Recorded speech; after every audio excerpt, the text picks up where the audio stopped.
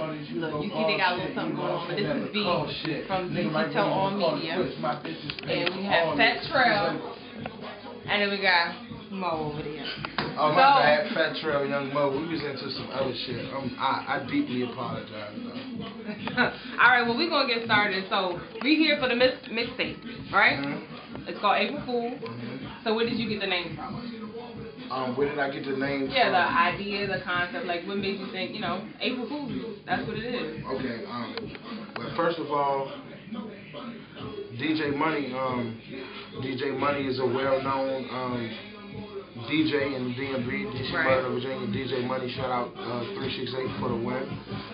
And um, the last mixtape I dropped was August, August, August the 31st. And that's no secrets, right? Yeah, that was no secrets. So it's been long. It's been a long time due for a mixtape. So the next tape, I, the next tape that I thought about putting out, money was like he was in my ear, like man, you know, me and you, we need to do something for the streets because DJ Right. Money is one of the hottest DJs in the DMV. Yeah, Okay. So he was like, he was like, uh, we need to we need to put that out. Yeah, but I mean, but to come up with a name like April Okay. Fool, Well, like, well, well, first of all, to come up with a name of April, like April Fools, my name is my nickname is Fool. oh, okay. Okay. And April's right around the corner. Yeah, right. So like, and it, it's not because of April was around the corner. Like Mhm. my nickname, like all year round, is Fool. Right. So like, the next the next holiday was coming up was April Fools, and um, he, he he proposed that idea to me about January, and I was like, you know what, I can have something, I can have a project done for you by the time April comes. So you kind of did this pretty fast. Like you did it, like you just got in the studio every day, Yeah, yeah. every day grinding. Every day grinding, every day grinding. All right. Well, how does this April Fool's album compare to No Secret? How does it compare? Yeah, I mean, like, what's different about the two? Like, what did, did you go in the same direction? Did you want to, you know, you feature more artists? Like, what was different about it? Um, well, it definitely it definitely went into a, a different route because although I had Black Cobain, you know, shout out to my board administration family. Although I had Black Cobain on it, um, I wanted to um, I wanted to show the world who I believed in. Right. You know what I'm saying? So it was different from. Yeah, yeah, it was di- it was different from No Secrets because it was already No Secrets was already a family thing. hmm So when I, with that being said, with all the family put together, I was like, um, Let me establish yeah, myself. yeah, let me let me establish not only myself, but let me establish my entourage. Okay, and speaking of which, who'd you feature with on on the April April Fool's? Who I feature with, I feature with um, Chris Bo, hmm Young Mo, Young Mo right there. Yeah, the Young quiet Mo. one. Young Mo. Young Mo. Um, as far as producers, I feature with um. Anybody hot here? Yeah, yeah, of course. Name them, name them. You gotta, you gotta be naming Okay, them. Bam, bam, okay. bam. So as far as producers, I feature Cause I might with. want one. Okay. Okay. So as far as with producers, I, I um partnered up with, I partnered up with A, E Major, E Major, another um producer from the DMV who was gonna shake the world. Um, CME, Comperdin Music Entertainment. I, I partnered up with him. I partnered up with Basshead Music Group. I partnered up with Lex Luger. Show it. Um, I partnered up with Jones Shorty. Um, in case y'all know who Lex Luger is, he the producer of BMF and, and, and, and, MC Hammer and John Doe for Rick Ross. Well, let me ask you this: When you partner up with them, do you kind of take on their style? Like they'll give you a direction to go, and you like, like, nah, I kind of want to flip it. Like, no, how do you do that when you partner? let me answer that question honestly. Honestly, Lex Luger and producers like Jones Shorty and CME and Basshead Music, they know my type of work. Okay. So when they called me and told me come over to the studio, Sound like It's like we sat down, yeah, yeah. We sat down and we and we um we worked together. Yeah, we collaborated on building the whole thing from the beats to the bass to the keyboard. So you have a lot of input when you when you Yeah. they don't just say oh I have a track and then you put Oh, whatever no, you no, you no, actually no, are one of the no, artists no. that I don't even from the ground up. Yeah, I don't You're even like artist. I don't even like doing music like that. So don't just call you oh I got a hot track like you actually want to be there building Yeah, yeah. building. Okay. So you did a lot more of this on Yeah, I did. I did a lot more on um, April Fool's Revenue No Secrets. I did a lot more. I had a lot more input. Okay. Um, for April Fool's No Secrets. Well, that's definitely good. So besides you getting on the track, making it do what it do, what do you do in your free time? What do you like to do? Go to the club, you know? In my free time. In my free If you time. have any free time. Right, if I have If any you free have any time. free time, if I have any free time, I like to um I like to have raw sex. In my free time. Is that fresh? Yeah, that's fresh. It ain't finished peeling, it's so fresh. But um on a more serious note, in my free time I like to um spend time with my children. Mm, That's good. That's a, always um, good. Yeah, I have a three year old and I have a eleven I have eleven month old. My eleven month old his name is Harlem. Oh, that's nice. And um my, my three year old name is Charity. So other than that, I like to spend time with my kids. When you don't go out of town doing shows out here. Right, right. But other than that, like I'm not a real active life type of person. Okay. So my whole life is embedded into rap. Yeah.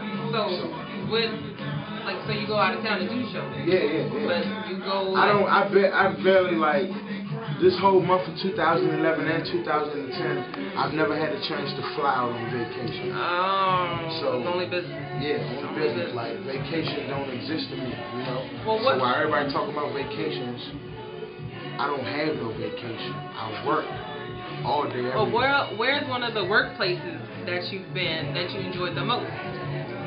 One of the workplaces that I've been in, I enjoy the most. Yeah. That you felt like they embraced you the most, that they were open Um, to. I'm gonna have to go with Lex Luger. Lex Lex Luger and um, LES Studios.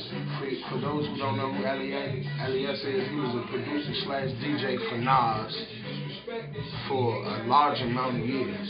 Where's he located at? He's in located in Virginia Beach. Oh, okay.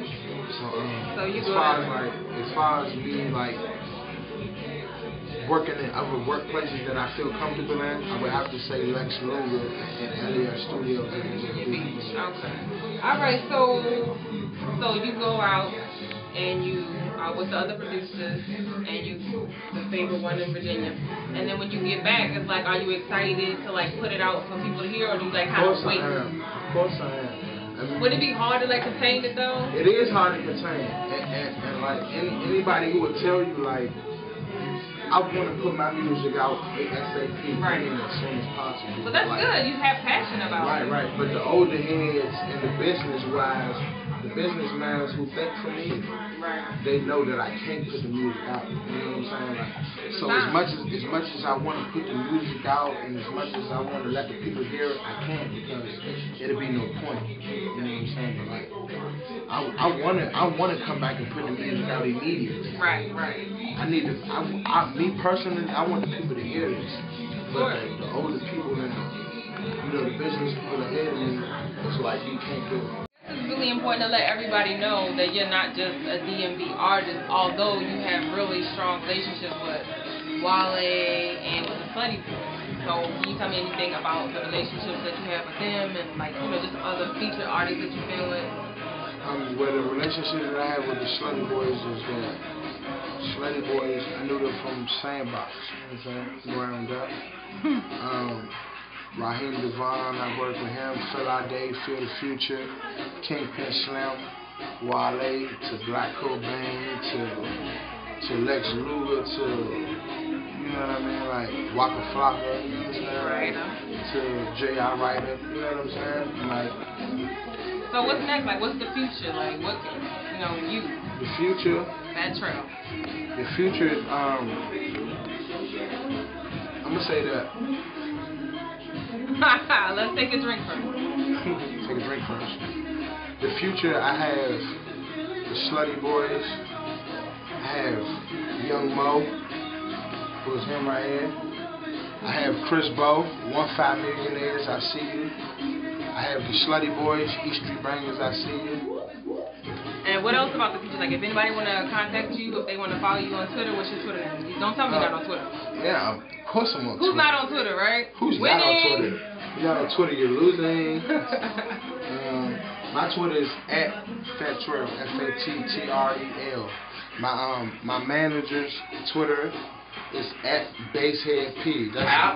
Nope. It's 8SP. You know my name changed? You don't No. know your last See, name changed. you need to let me know before we do the interview then. Everybody else know. When you Hey. changed it, like last night? Actually, this morning, young. See, exactly. A Y E A Y E D A T S P. 8SP. Yeah, that's me. Come on, yo, that's not that's not good for business. yo. What? That's Well, not. I, I should put it in base head. No, you should put it at CMEP. Okay, so you got it. We're gonna follow You FS should put it at CMEP. and we also have to follow DC Tell All Media. Copy them. And I just want to thank you, and I'm Vee at DC Tell All Media. Thank you. Yeah, Vee. Vee. Nice to meet you. You too. Thanks for taking the time out. So now I'm ready. Thank ready. you, Vee. Um, before I get my, before I do all my drops, like I would like to thank, spend a special shout out to JukeboxDC.com, DC Tell All Media, Young Mo, Chris Bo, One Five Millionaires, Slutty Boys, Elite DC, and Kong, I see you. Dominic Moxie and Mark Spain, I see you. Young Millionaires, I see you. Black Cobain, I see you. Board Administration, I see you. Team 368 for the win, I see you. And that's about it. I'm at Vee DC Tell Media. Have a good one.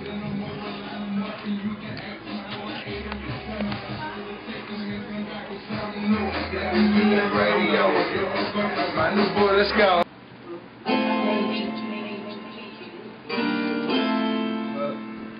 Turn it down a little bit.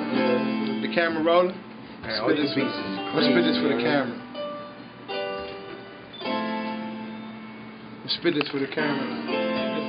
Real exclusive shit. Hey, when you got you though? Feeling himself. Yeah, I know you always feeling himself. Feeling himself, Fattrel.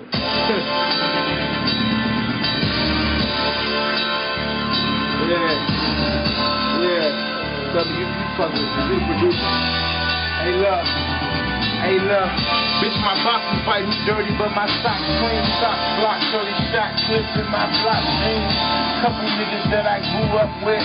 Earned to make the niggas that I blew up with. Police screw up shit.